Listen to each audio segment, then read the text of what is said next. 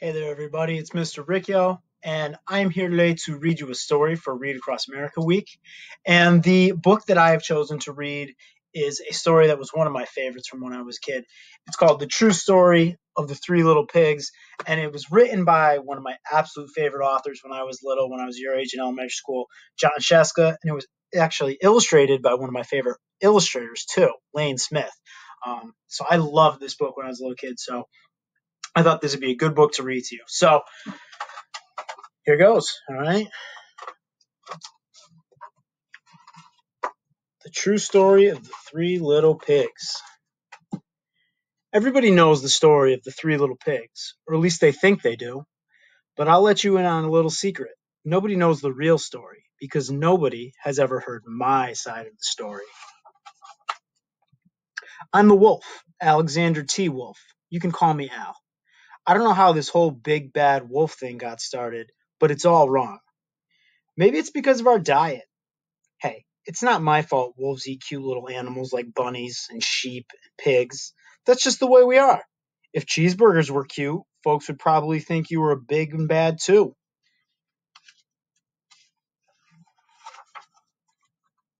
But like I said, the whole big bad wolf thing is all wrong. The real story is about a sneeze and a cup of sugar.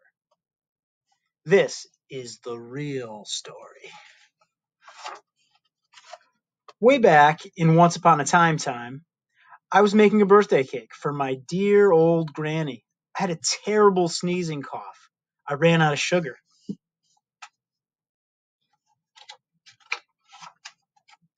So I walked down the street to ask my neighbor for a cup of sugar. Now, this neighbor was a pig, and he wasn't too bright either. He had built his whole house out of straw. Can you believe it? I mean, who in his right mind would build a house of straw?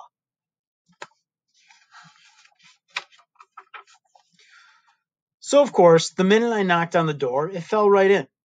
I didn't want to just walk into someone else's house, so I called, Little Pig, Little Pig, are you in? No answer. I was just about to go home without the cup of sugar for my dear old granny's cake. That's when my nose started to itch. I felt a sneeze coming on. Well, I huffed and I snuffed and I sneezed a great sneeze.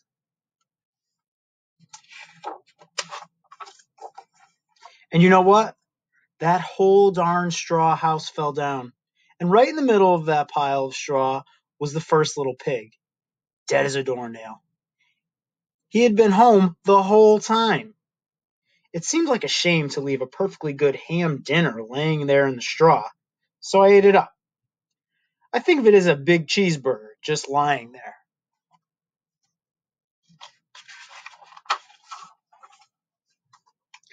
I was feeling a little better, but I still didn't have my cup of sugar, so I went to the next neighbor's house. This neighbor was the first little pig's brother. He was a little smarter, but not much. He had built his house out of sticks. I rang the doorbell on the stick house. Nobody answered. I called, Mr. Pig, Mr. Pig, are you in? He yelled back, Go away, wolf. You can't come in. I'm shaving the hairs on my chinny chin chin.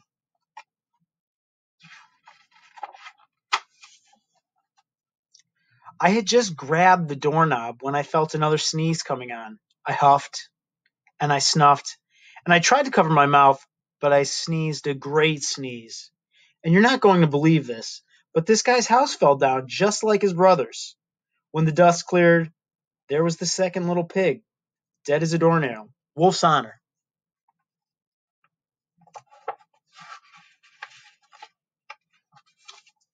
Now, you know food will spoil if you just leave it out in the open. So I did the only thing there was to do. I had dinner again. Think of it as a second helping. I was getting awfully full, but my cold was feeling a little better, and I still didn't have that cup of sugar for my dear old granny's birthday cake. So I went to the next house. This guy was the first and second little pig's brother. He must have been the brains of the family. He had built his house out of bricks. I knocked on the door of the brick house. No answer. I called, Mr. Pig, Mr. Pig, are you still there? Do you know what that little rude little porker answered?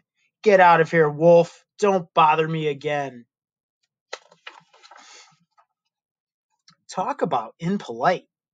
He probably had a whole sack full of sugar, and he wouldn't give me even one little cup for my dear, sweet old granny's birthday cake. What a pig. I was just about to go home and maybe make a nice birthday card instead of a cake when I felt my cold coming on. I huffed and I snuffed and I sneezed once again. But the third little pig yelled, and your old granny can sit on a pin. Now, I'm usually a pretty calm fellow, but when somebody talks about my granny like that, I go a little crazy. When the cops drove up, of course, I was trying to break down this pig's door, and the whole time I was huffing and puffing and sneezing and making a real scene. The rest, as they say, is history. The news reporters found out about the two pigs I had for dinner. They figured a sick guy going to borrow a cup of sugar didn't sound very exciting, so they jazzed up the story with all that huff and puff and blow your house down stuff. And they made me the big bad wolf. That's it. That's the real story. I was framed. But maybe you could loan me a cup of sugar? The end. That's one of my favorite books from when I was a kid. And I really like all Jon Scieszka's books a lot when I was a little kid. So I hope you guys really liked it too. Hope you guys are reading some great stories at home. I hope you're reading some great stories at school. And uh, keep on reading. I hope you guys enjoyed this book as much as I used to enjoy it. Bye, guys.